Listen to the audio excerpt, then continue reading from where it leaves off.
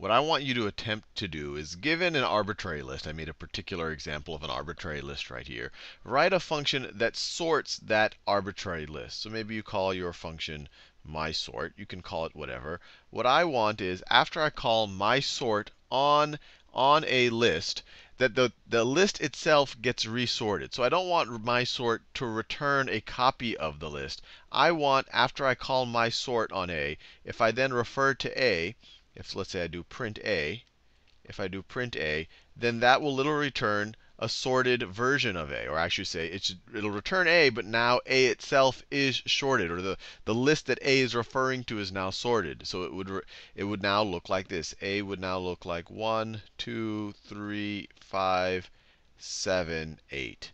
And you might say, wait, Sal, that's very easy. There is already a sort function in Python. You literally can call a a dot sort, and that will sort a in place, just the way I've asked you to do. And when I say in place, I'm saying it's actually going to work on the actual list. It's not going to create a copy of the list that is sorted. It's actually going to work in place on that actual list.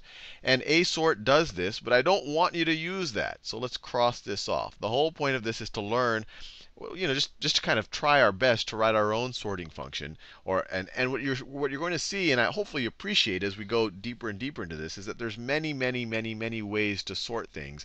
And sorting is really a good way to think about, is to think about how, how good a a function, and we'll start talking about algorithms, how good a process is, or how fast a process is, or how efficient a process is at doing something. So I'll leave you there.